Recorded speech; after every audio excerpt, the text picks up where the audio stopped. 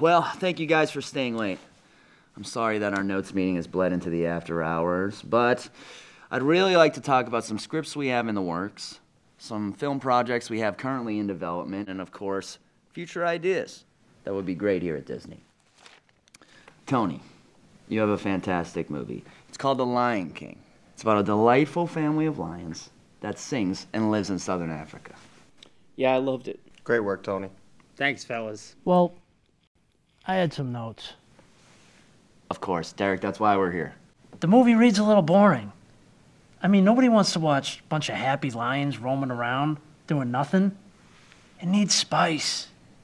What if we had, and I'm spitballing here, a dirty uncle who pushes Simba's dad off a cliff? He gets trampled by a stampede, breaks his back, ruptures his spleen, inevitably he dies in front of his son.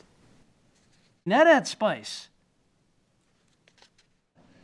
It's a children's movie. I don't think we need to violently kill off one of the main characters, Derek. I'm sorry. What's your name? What? Your name. James Williams? And what's my name? Derek Disney. Fine. We'll work it in. Ken, your film. Snow White and the Three Dwarfs. It's already in post production, so there's really nothing we can do about that one. One sec. I gave the script a quick reread, and there's really no spice. oh, well, unfortunately, our animators are already done with the picture, so. I don't even blink at three dwarfs. I need at least six. What? What if we had a dirty old witch who poisons Snow White, and the poison puts Snow White into a coma? That adds spice. Do you know how much it would cost to just add in a crazy witch storyline? I mean, am I, am I wrong here? I mean, it's like a subplot about a witch. It makes no sense, Derek. What's my name? Fine. I'll talk to animation. Roger, you've written a delightful tale about a singing mermaid. Surely no one could have any problem with that. No spice.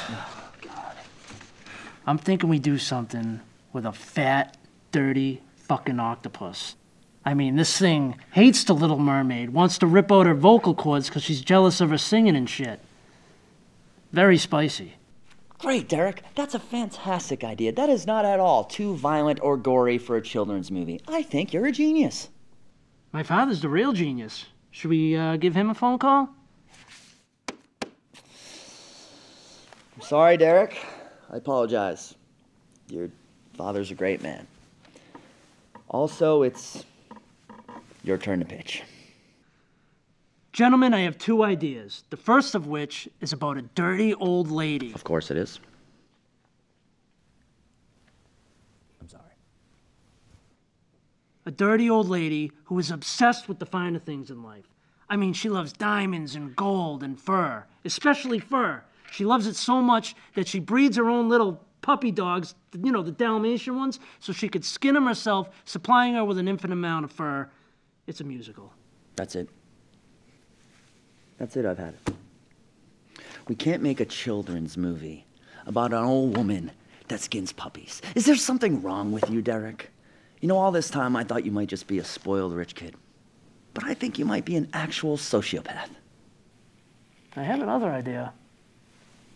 I don't want to hear it. I don't think I can handle any more of your spicy ideas.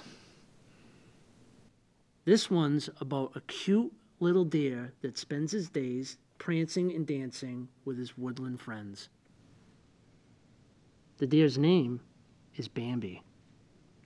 Bambi. A deer named Bambi. I actually kind of like the sound of that. And Bambi's mom